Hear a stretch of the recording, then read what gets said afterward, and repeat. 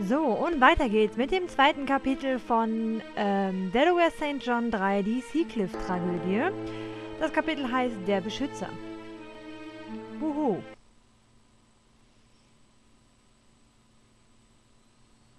Rödel, Rödel, mein Laufwerk ist so laut und so lahm. Ich sollte mich drüben bei der Achterbahn umschauen. Genau, wir spielen jetzt wieder mit Kelly und wir haben ja im letzten Kapitel am Ende erfahren, dass der Sohn der Crandalls, also der Sohn der Besitzer dieses Parks, ähm, gerade an der Achterbahn mit Putzen beschäftigt war, als diese äh, zusammengebrochen ist. Und ähm, wir vermuten jetzt natürlich, dass er irgendwas damit zu tun hat. Und deswegen gehen wir jetzt nochmal zur Achterbahn, wenn ich die denn finde. Und gucken uns an, was Kelly, passiert. zum Glück bist du noch hier, Kind. Hallo, Miss Rose. Ist Ihnen noch etwas Wichtiges eingefallen? Nichts über den Park. Aber als ich an dich gedacht habe, sah ich dieses Symbol. Kennst du es vielleicht irgendwoher? Ist ein schwedisches. Kenne Öl ich nicht, so? aber ich werde ein Bild davon machen. Ich habe einen Freund, der da helfen könnte. Simon, ich schicke gerade ein Bild über den SBK. Na klar, und sie hat die ganze Zeit die Hand Ja, vor die Linse es kommt gehalten. gerade rein. Eine Ahnung, was es bedeutet? Warte mal kurz. Ah ja, das habe ich schon mal gesehen. Wenn ich mich recht entsinne, ist es ein Symbol, das Bandkreise durchbrechen soll. Ist aber schon lange her, dass ich etwas darüber gehört habe. Wo hast du es gefunden? Hier ist jemand, der behauptet, das Symbol habe etwas mit mir zu tun. Also wenn es tatsächlich etwas mit dir zu tun hat, dann musst du wissen, wie man es richtig verwendet. Du solltest das Symbol an der Stelle einer Energiebarriere platzieren. Verstehe. Und dieses Symbol durchbricht die Barriere? Richtig, die Energie, die die Barriere aufrechterhält, sollte sich auflösen, damit du sie passieren kannst. Ich gehe nach Hause, Kelly. Da kommt ein dunkler Sturm in unsere Richtung. Der Himmel sieht zwar ziemlich klar aus, aber ich möchte ungern einer Wahrsagerin widersprechen. Sei vorsichtig, meine Liebe. Sag Delaware, er soll seinen Instinkten vertrauen. Sie werden bald in Frage gestellt. Delaware? Was wissen Sie über ihn? Ich weiß gar nichts über ihn, Liebes. Ich überbringe bloß eine Nachricht. Sei vorsichtig. Oha, mysteriöse Nachrichten. Die Frage ist von wem? Jedenfalls hat diese Tante mehr drauf als Professor Trelawney. Also, wer ist diese mysteriöse Frau? Sie hat früher im Park als Wahrsagerin gearbeitet.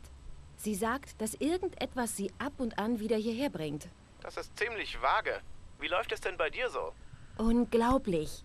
Ich bin Zeuge eines echten Poltergeistes geworden. Delaware ist mit einigen Seelen in Kontakt getreten. Es handelt sich also um intelligente Geister? Ich glaube schon. Dass Delaware in der Lage ist, mit ihnen zu interagieren, spricht jedenfalls dafür. Ich muss zugeben, dass er weiß, wie man mit ruhelosen Seelen umgeht. Oh, ist das eine Metapher? Was? Nimm es mir nicht übel. Ich habe damit nicht gemeint, dass du in Delaware verknallt wärst. Bitte? Sind wir hier in der Grundschule? Warum solltest du...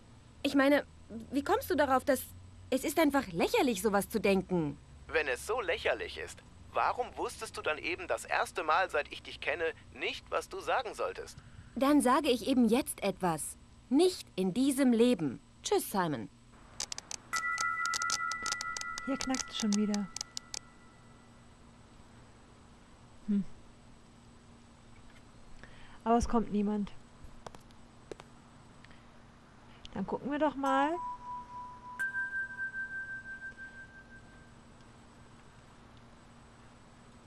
Aber irgendwie ist hier nichts.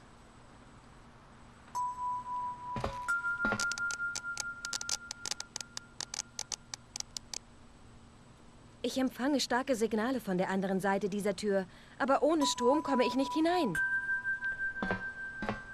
Okay, wir brauchen also Strom. Nichts. Vielleicht habe ich die Sicherungen falsch eingesetzt.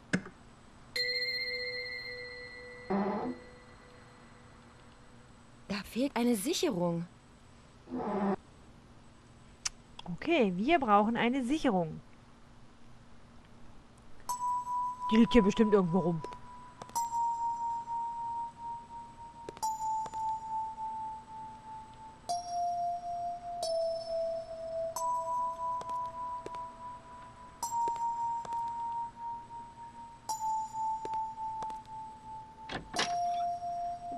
Wobei, da, wüs- da wissen wir ja, da ist keine. Boah, da steht auch so ein Clown da. Das sieht irgendwie etwas unheimlich aus.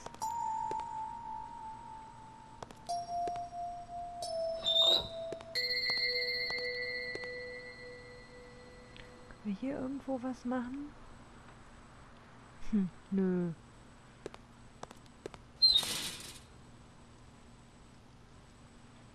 Oder hier?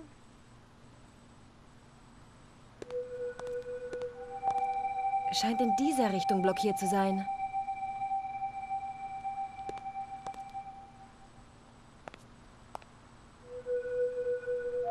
Also, wenn ich eine Sicherung wäre, wo wäre ich denn?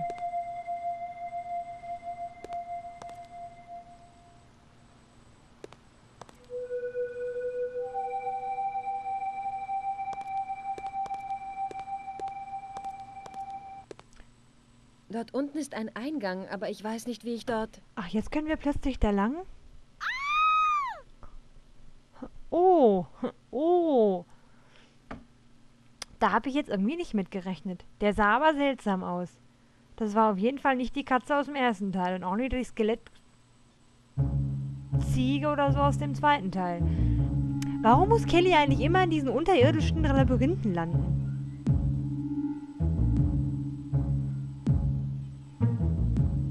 Machst es mir nicht leicht, Kelly.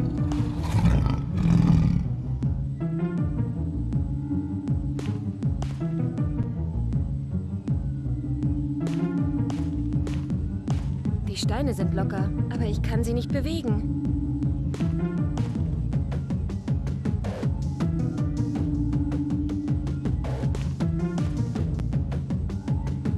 Das ist ein Stein aus Zement. Oh, der ist schwer.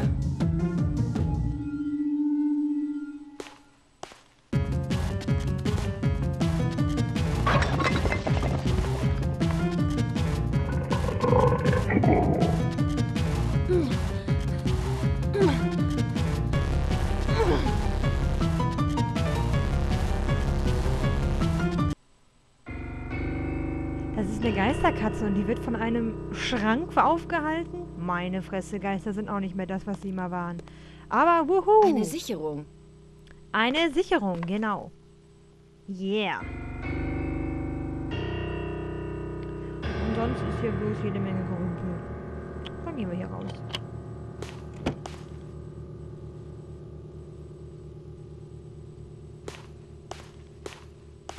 Kommt bestimmt gleich wieder so ein schwarzer Geist. Nicht? Sind wir jetzt? Ich muss mit Delaware reden. Er muss wissen, was hier los ist.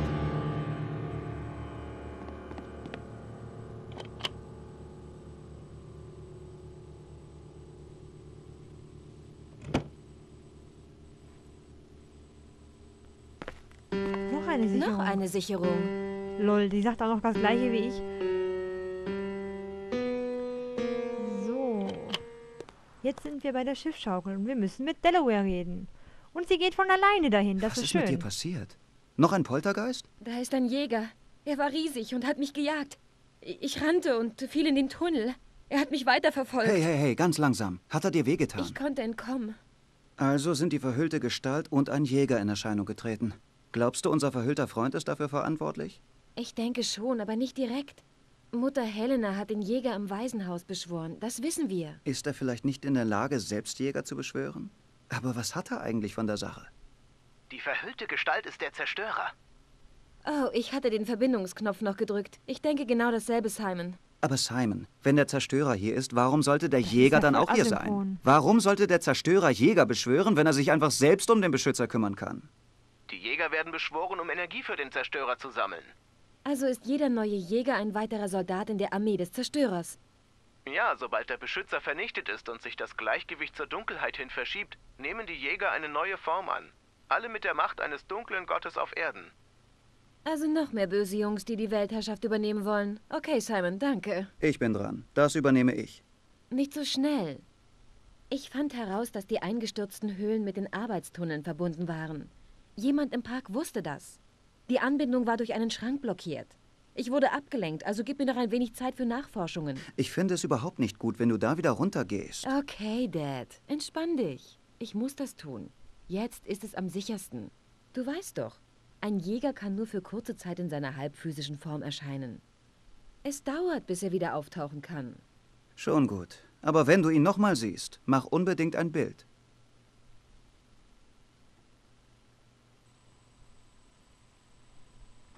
Tja, Kelly ist also echt mutig und will jetzt wirklich nochmal da runter.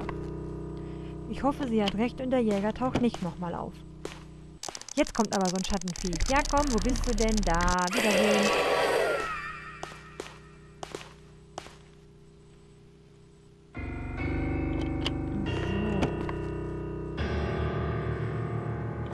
So. Das ist der Tunnel. Wo müssen wir raus? Ach ja, wir müssen die Kiste wegschieben.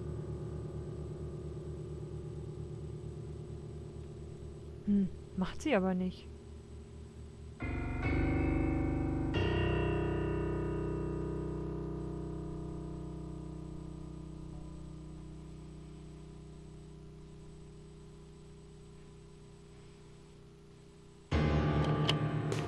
Warum nicht? Toll, da können wir wieder rausgehen. Blöde Kuh.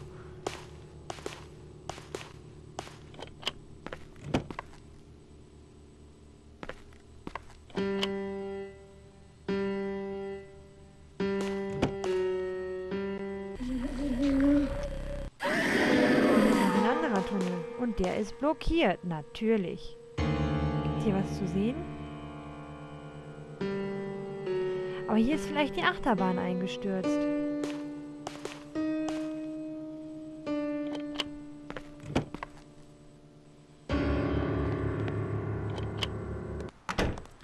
Aber wir müssen ja eh zur Achterbahn und die Sicherung anbringen.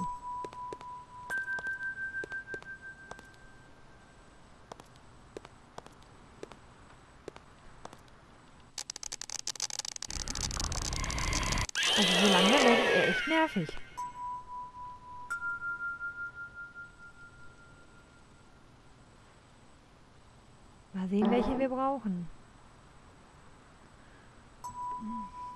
Das muss bestimmt alles irgendwie die gleiche Summe ergeben, aber ich kann nicht lesen, was da steht. Ich nehme jetzt mal die gelbe.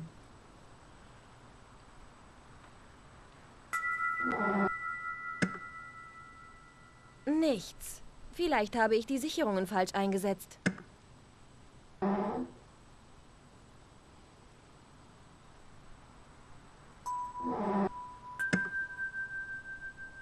Nichts.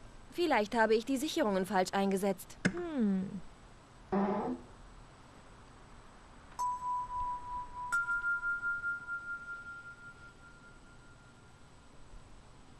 Aber ich kann doch nur die beiden hier einsetzen. Ist aber merkwürdig.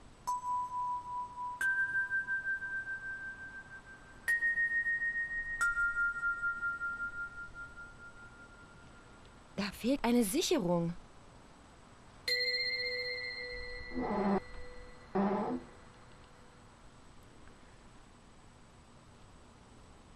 Hm.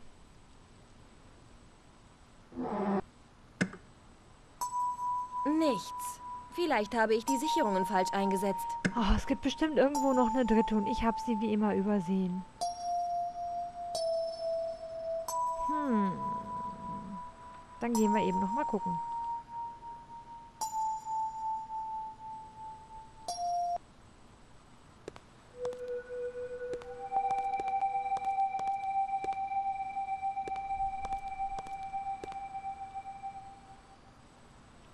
War bestimmt unten im Tunnel noch was.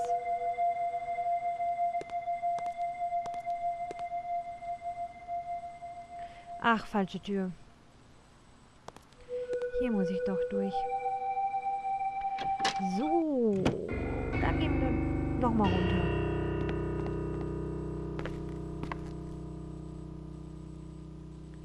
Hier liegen aber leider keine Sicherungen mehr. Oder? Irgendwo? Die muss jetzt rot oder grün sein, weil eine gelbe und eine blaue haben wir ja schon.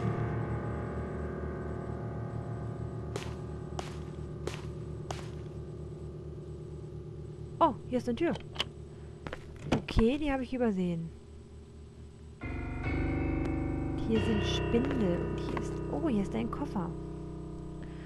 Mit dem Zahlenschloss. Tja, zwei, Zwei. sechs, Sechs, neun, neun, eins. eins. So geht das nicht. Ja, das dachte ich mir schon. Das war jetzt auch einfach nur blind geraten. Hier kann man einen Spind öffnen. Merken, gegenüber. Drei im Uhrzeigersinn. Immer mit einem weniger als eins beginnen.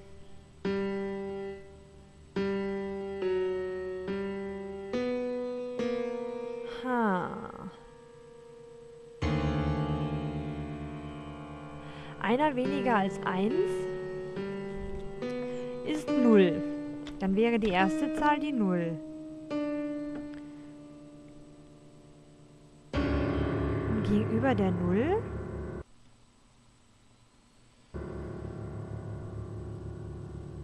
Hm. Moment, nein. Ich glaube, das ist gemeint wie eine Uhr. Das heißt, einer weniger als 1 wäre 12, also 1, 2. Gegenüber der 12 ist die 6. Und 3 im Uhrzeigersinn, 7, 8, 9 wäre die 9. Versuchen wir es mal. Eins, zwei, sechs, neun.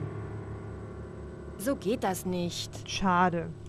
Also ich fand, das hörte sich jetzt richtig gut an.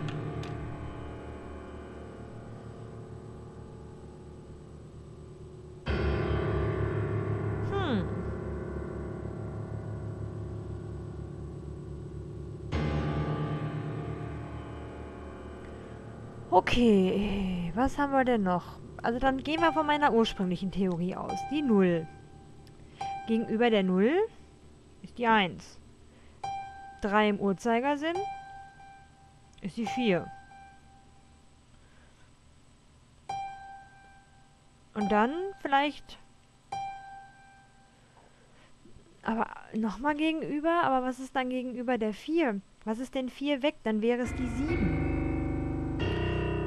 Das wäre auch, wenn es nochmal 3 im Uhrzeigersinn sind. Also das wäre vielleicht sinnig. Versuchen wir es. 0, Null, 1, eins, 4, vier, 7. sieben.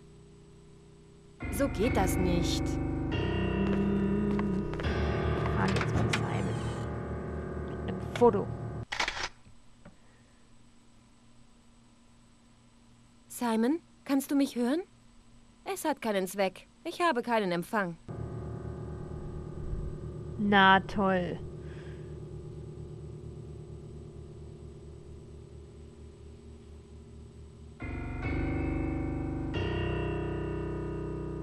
Und jetzt?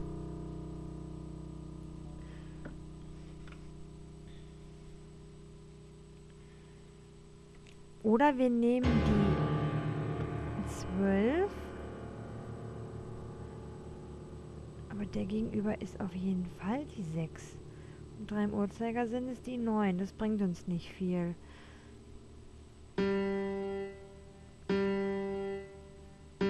Aber 0 Uhr ist auch die 12. Und gegenüber der 0 wäre dann die 6. Und 3 weiter wäre die 9. Dann haben wir aber nur drei Ziffern.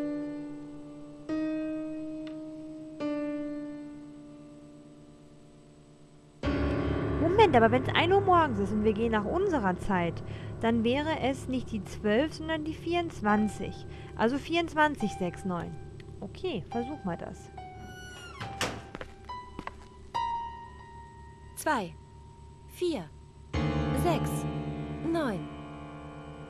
So geht das nicht. Ach Menno, warum nicht? Das hörte sich doch jetzt so gut an. Oder 0069? Null, null, sechs, neun. So geht das nicht. Okay. Das ist doch schon wieder scheiße. Da muss es doch irgendeine Lösung für geben.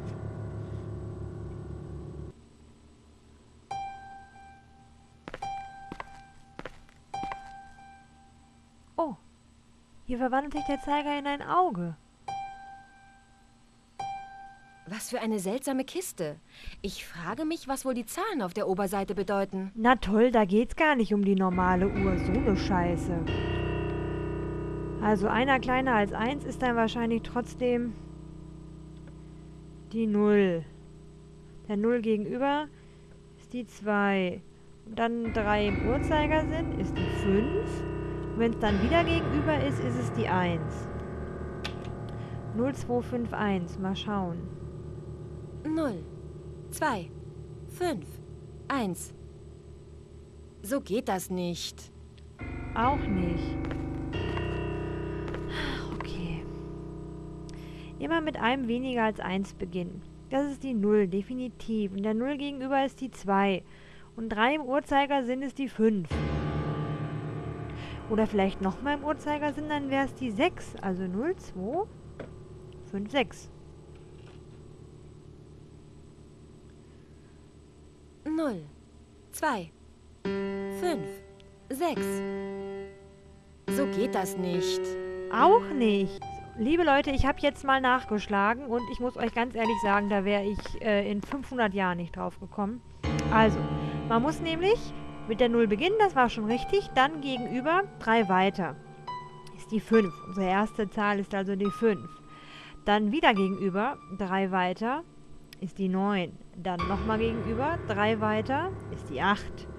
Und nochmal gegenüber 3 weiter ist die 4. Also die, unsere Lösung lautet 5984. Wärt ihr drauf gekommen? Ich nicht. 5, 9, 8, 4. Was sagt man dazu? Es hat funktioniert. Genau, voll logisch alles. Das ist eine Tube Gesichtsschminke. Okay, ich habe mich jetzt abgemüht wie blöd für ein bisschen Schminke. Vielen Dank auch.